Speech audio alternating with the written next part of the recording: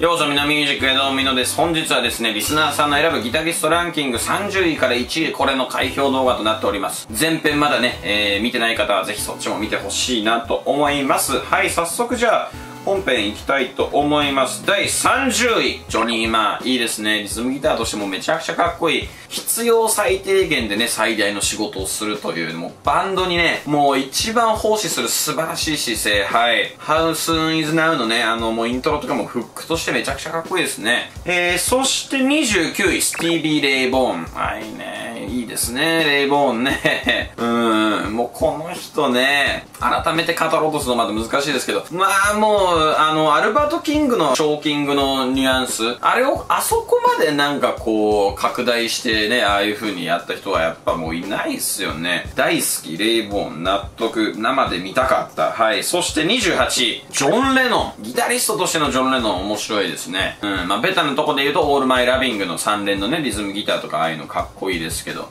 ハニーパイのジャズ風のね、ギターソロとかもそうだし、ああいう憎い仕事結構するんですね。意外とジョン・レノンがギターソロ弾いてる曲あるという。ジエンドのね、あのなんかちょっともうはっちゃけてるようなギターソロ3人でリレーするやつ、あれもね、俺もしかしたらジョンのパートが一番好きかもっていう。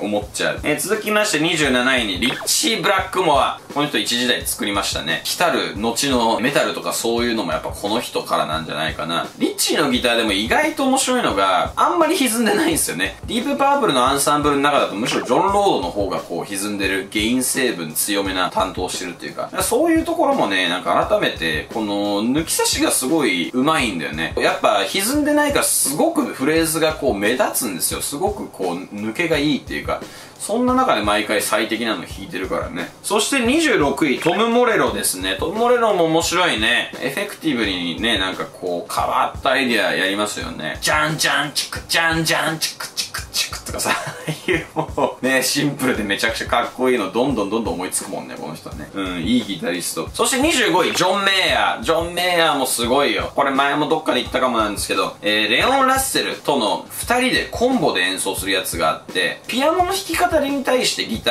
ー弾くってめちゃくちゃ難しいんですよ。もうギタリストだったら本当にやりたくない、えー、パートなんだけど、その中でね、こうボリューム奏法とか駆使して、もう本当に素晴らしい花を添えるんですね。レオン・ラッセルもなんかちょっと、ースいいじゃんみたいな感じになってたし、あれ見てやっぱすげえな、非凡だなってなりましたね。24位、ピート・タウンゼンド。この人もね、いいっすね。もう説明不要だけど、もう本当にリズムが気持ちいい。アコギもめっちゃうまいんだよな。リズム感がすごい、とにかくもういい。あの、この人のギターまたコピーしてみるとね、フォームとか高度なね、フォームとか結構面白くて、あの、 sus4のなんか最もね、気持ちいい鳴りがするようなね、コードとか結構彼が発明してるのあると思います。めちゃくちゃかっこいい。はい。はい、はいそして23位に田淵久子、ナンバーガールですね。まあ、他にもいろんなね、プロジェクト参加してますけど、この人なんだろう、なんか、ブルースドライバーとさ、ケンタみたいな、ケンタロスみたいな、ああいう、もうキッズが憧れるような、なんかああいうボードの、そういうの作った感じありますよね。うん、まあ、サウンドもなんかもちろんめちゃくちゃかっこいいんだけど、ギターキッズがみんなさ、ライブハウスでこう、最前の方並んで足元をこうやって見るみたいな、そういうのもね、あるよね。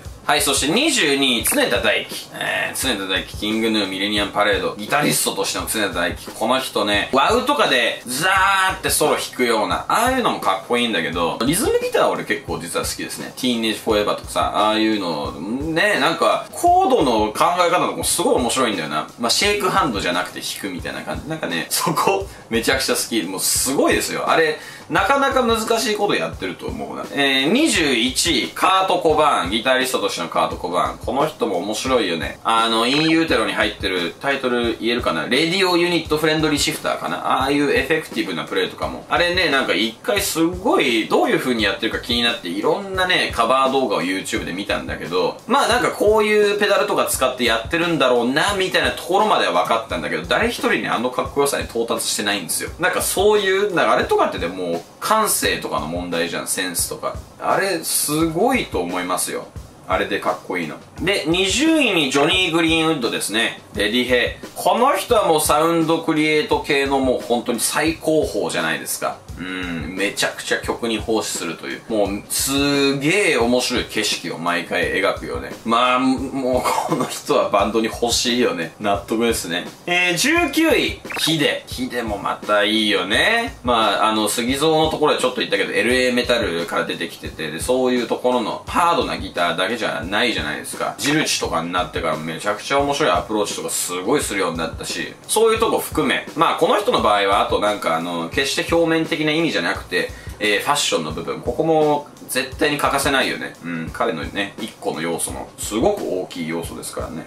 うん、そういうのトータルで含め、やっぱりかっこいい。18位にスラッシュ。スラッシュもいいね。ね、まあ当時ね、こんだけストレートなギターなかなかいなかったみたいな感じで言われるけど、元ジミヘンの、えー、バンドメンバーと一緒に、 Hey Joe を弾いてる動画があって、まあギタリストだったり一番きつい立場でね、もう地味編の代わりをやらされるという。それでね、普通にめちゃくちゃかっこいいんですよ。しかもタバコ咥えながらめちゃくちゃ低い位置で、これ大丈夫かなとか思って最初見てたんだけど、スラッシュやっぱさすがだなってね、なっちゃったよね、あれ見て。えー、17位に、えー、布袋さんですね。あーいいね。リズムギターがまたこの人かっこいい。リズムギターだけじゃないね。ロカビリーの要素があるの俺好きですね。もう BOØWY 本当にファーストアルバムからギターソロめちゃくちゃかっこいいんですよ。もうなんかちょっとこの人だけやっぱバンドメンバーの中でもう異質な次元にいるなみたいな。なんかニューウェーブ的なね、あのエフェクティブなアプローチとかもすごい面白いし、この人はもうマジで国産の日本のね、いいギタリストの代表だと思います。16位、ノエル・ギャラガー。ギタリストとしてのノエル。ノエルのね、ギターは、これ面白いですね、ここ語るのね。あの、もう全然難しいことしないですね。コードとかもなんかおしゃれな押さえ方しないで、普通にもうバレーでメジャーとかマイナーとか弾いてるじゃないですか。あの感じ？あの、でもそこがミソだと思うんだよね、マジで。で、ギターソロとかもさ、もう、もういかにもこの、なんか、ファック言うみたいな感じじゃん。も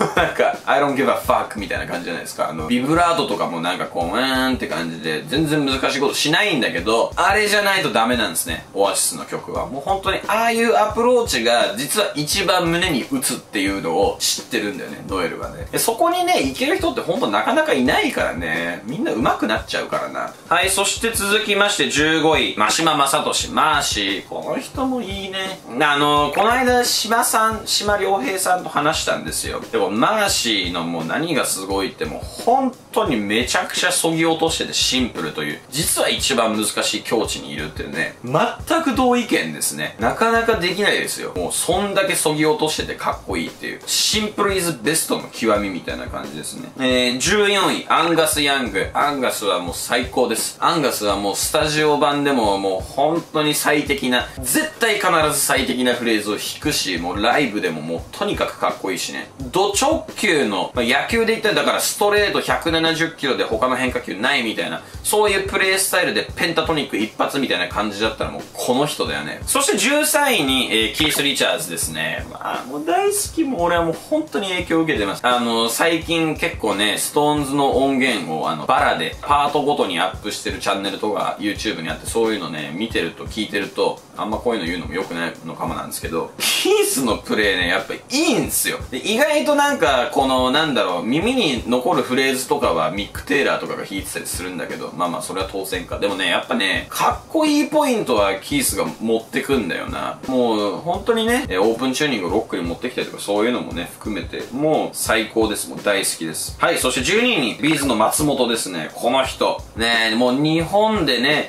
もうどれだけこの人に影響されてギターをね、始めた人がいるのかというね、何人人生を狂わされたのかというね、ラリー・カールトンともね、アルバムやっちゃったりするしね、この人はでもやっぱもうトーンがいいね。友達がね、なんかステムデータここの間なんかどっかの現場でこっそり聞かせてもらったらしいんですよ。もうトーン良すぎてびっくりしたって言ってたね。その人もギタリストなんだけど、この人はもうとにかくトーンがいい。えー、そして11位にジェフ・ベック。俺の崇拝するジェフ・ベック11位入ってきましたね。この人もね、あのー、まあもう散々ちょっと今まで語ってきたんですけど、あえてリズムギター視点で話すと、あの、ジェフ・ベックグループ第2期ですね、ラフレディとそしてオレンジアルバム、この2枚、もうね、リズムギターがまた変態で面白いですね。むしろジェフ・ベックのあのリズムギターコピーするのが一番難しいんじゃないのかなと思うな。下手し、 Blow by Blow とか Wired とかそういうののソロとかじゃなくてもうね、リズムギターのアプローチがまあおかしいですね、本当にね。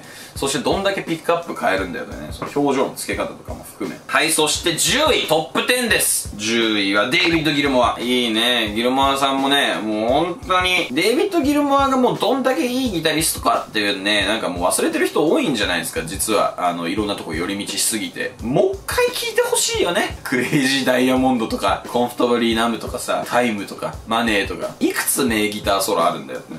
間違いなすぎる。はい。あとなんかあの、 Run Like Hell とかのああいうディレイ使った感じとかも、実は結構この人が最初期なんじゃないのかなってね、思うよね。ジ・エッジとかの走りみたいな。えー、そして、9位、エディ・バンヘイレンですね。バンヘイレンは、前なんか俺どっかの動画で言ったと思うけど、本当にバンヘイレンね、みんなが思っているより俺すごいと思うんだよね。えー、デビュー当時のライブ映像とかね、一回紹介したことあるけど、もう信じらんないですよ。あれなんかもっといい画質でリリースされないかなもう全ギタリストが見るべき宝、人類の宝ぐらいの演奏だからね。そしてデビュー前のタッピング使ってない時期の演奏、これもまたやばいです。もうその時期もね、なんかしっかり録音にね、えー、もっといい音で残ってたら嬉しいなって思うんだけど、はい。まあ、ブートレグで聴いても、まあ、十分楽しいんですけど。そして8位、えー、長岡亮介、浮雲さんですね。この人ね、珍しいこのカントリーのね、影響を持ってて、なおかつなんか、もうなんだろうね、オルタナティブファンクロックと言ったらいいのかな。もうこの人の世界だよねっていうか、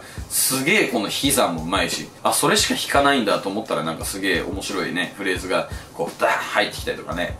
この人ね、多分もっと海外に、えー、紹介されるべきだと思いますね。まだまだもっと、なんか、そういう意味では可能性を感じるという。えー、そして7位に、ジョージ・ハリスン。ジョージ・ハリスン7位、いいね。ジョージ・ハリスン素晴らしいギタリストですから、本当に。バッドフィンガーの、なんだっけパッパッパーパーパーごめんなさい、ちょっと名前出てこない。テロップで出します。ジョージ・ハリスンがスライドギター弾いてんだけど、曲の中で一番輝いちゃってるよね。100円で一番輝いちゃうという。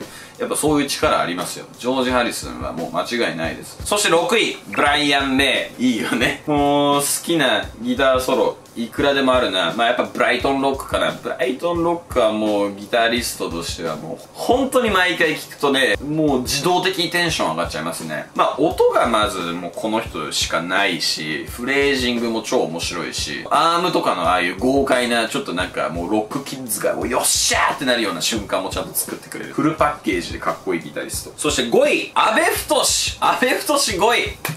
いいねだこういうところですね。やっぱりこの日本人、外国人、区別しないランキング。まあ新しい試みだったんですけど、5位に安倍太こういう並び。めちゃくちゃいいね。みんな大好きじゃないですか、安倍太のこと。僕も大好きですけど、本当に、えー、青春でしたよ。えー、高校生の頃とかめちゃくちゃコピーして。でもやっぱりあの感じは出せなかったね。チャカチャカチャーチャカチャカチャーみたいな。ああいうのもあのキレでは絶対できなかった。この人もね、やっぱストレートなこのロックのリズムギターのかっこよさでしたね。そして4位、ジョー・フルシアンテ。ああ、ね、大変上位ですね。この人もいいギターですね。Me and My Friends のあのライブとかね、ああいうのかっこよくて好きですね。もうめちゃくちゃあの、もう頭空っぽみたいなアプローチの曲なんだけど、存在感がすごいんだよな。フレーズとかも含めて。スラッシュとはまた別のストレートなかっこよさなのかな。そういういわゆる seventies とかに影響を受けたギタリストの中でも。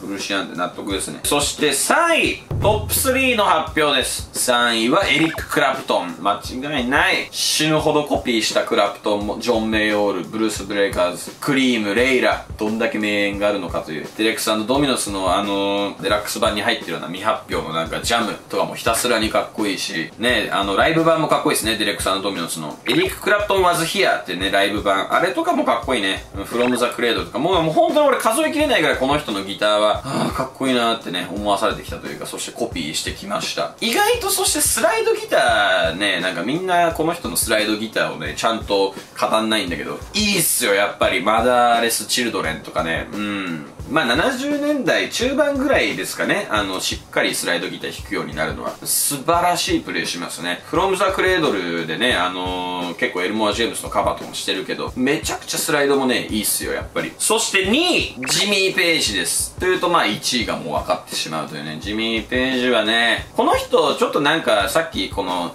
ギターヒーロータイプ、サウンドクリエイタータイプみたいな話をね、しましたけど、よく考えたら両方持ってるかもしんないですね。というか、この辺の人たちはもう両方持ってるかな。ジミー・ページはもうだから、まあ特にあの、聖なる館ぐらいとかはもうね、サウンドクリエイター的な目線でもめちゃくちゃ面白いよね。そういう部分も含め。この人のね、ギターやっぱコピーすると面白いんですよ。あの、何回もこれを話したことあるエピソードな気がするんだけど、ブラックドッグのリフですね。ダラダラダラダラダラダラダラダダダダダラダダダラダダダフィヨーン。このビヨーンって音が6弦の3フレットを 5, 5フレまでチョーキングしてるんですね。だからこの6弦と5弦が A の音になるという。なんかねそれ細かいトリックがすごいあるのよ。あの胸いっぱいの愛をの最後の方でなんか一瞬だけハモリが出てきたりとかギターのね。